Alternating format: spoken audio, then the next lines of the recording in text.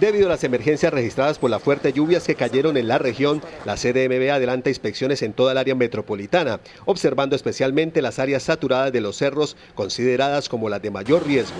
Con equipo técnico, con sus camionetas, con volquetas, con algunas retros, que hemos apoyado para limpiar los cauces, para, para mover los barros, para mover el lodo que nos ha afectado fuertemente. En el vecino municipio de Piedecuesta se atendieron con maquinaria seis diferentes puntos afectados por la lluvia, donde ingenieros y operadores estuvieron dispuestos a amortiguar la emergencia. Estamos pendientes de cualquier emergencia, habíamos previsto esto, pues son puntos críticos que de muchos años han fallado y se les ha hecho algunas inversiones, pero ante la naturaleza y, y la fuerza de esta, pues es insignificante la inversión. En Girón se registraron varios llamados en el barrio Villa de San Juan, en donde reporta la comunidad la caída de un muro y múltiples represamientos.